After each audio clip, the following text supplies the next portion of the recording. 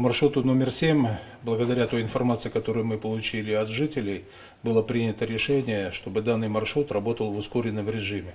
В связи с этим на маршрут вышли три дополнительных автобуса, они так и называются, номер 7 «Экспресс», которые более эффективно, более быстро доставляют э, жителей микрорайона Сходня до станции Сходня. Данный маршрут он межмуниципальный, он соединяет Подолино, это городской округ Солнечногорск, э, с нашим городским округом, именно с микрорайоном Сходня, со станцией Сходня.